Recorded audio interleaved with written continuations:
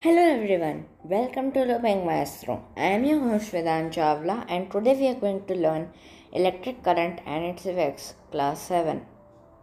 So without wasting any of our time, let's start with the session. Symbols of electric components. Electric components that are electric cell, electric bulb, switch in off position and switch in on position, battery and wire. On the right side, you can see the symbols of all the electric components.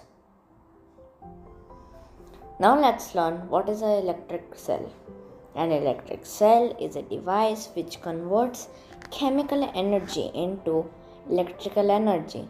It has two terminals which are made up of metal. One terminal is positive while the other one is negative.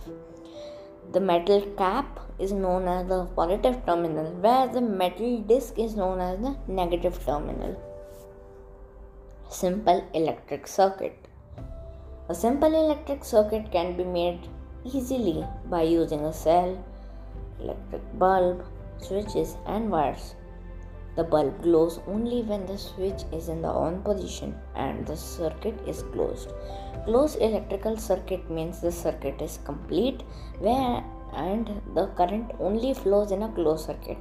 Open circuit means the circuit is incomplete and current cannot flow in an open circuit.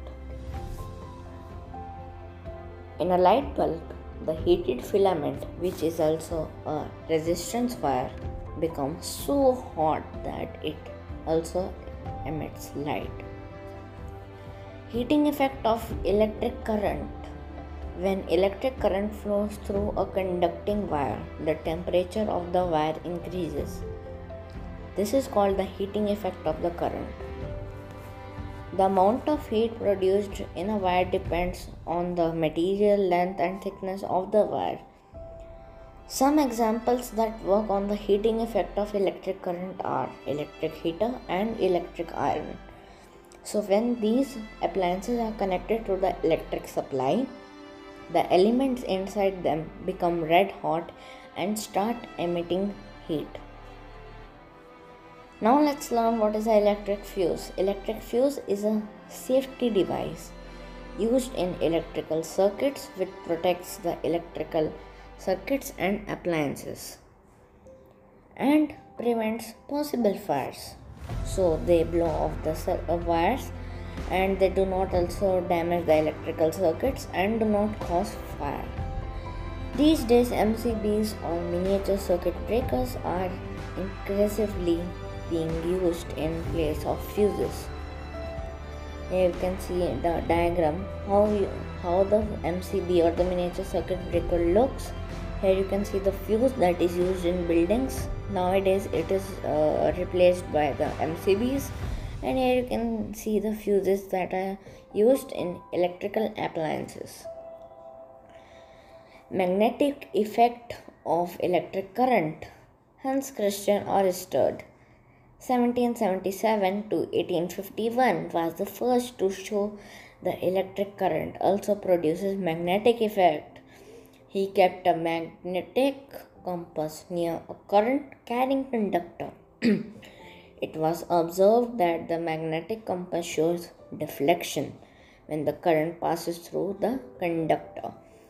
Now we would have a question that how does a, a the needle of a compass get deflected when the electric current flows so let's find out so what happens is uh, the needle of the compass is a tiny magnet which points in north south direction.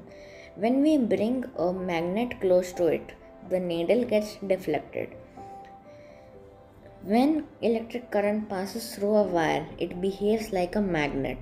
This is the magnetic effect of the electric current. Due to this magnetic effect of the electric current passing, when the current is switched on through a wire, the current starts flowing. A compass needle that is kept nearby gets deflected from its north south position. Electromagnets. Temporary magnet made by placing a piece of iron inside a current carrying coil of wire is known as electromagnet. And uses of electromagnets these are in generators, motors, transformers, electric buzzers and bells, headphones, and loudspeakers. Now let's learn the functioning of electric bell. The switch is pressed and current flows through the circuit. The electromagnet is powered and generates a magnetic field that attracts the iron strip towards it. The striker strikes the gong or the bell. The striker can be a hammer. When the striking arm strikes the gong, the contact is broken and current stops. This causes the electromagnet to lose its magnetic field.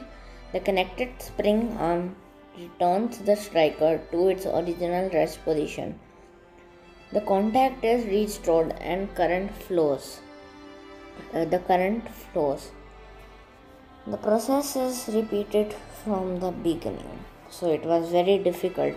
Now let's learn in a very simple language so basically the uh, let's learn the structure or the construction the electric bell consists of a coil of wire that is wound on an iron piece this coil acts as an electromagnet so simple the coil of wire is wound on iron piece and this uh, and uh, the co- this coil uh, acts as an electromagnet an iron strip with a hammer at one end is kept close to the electromagnet. There is a contact screw near the iron strip. There is a source of current and a switch. Simple.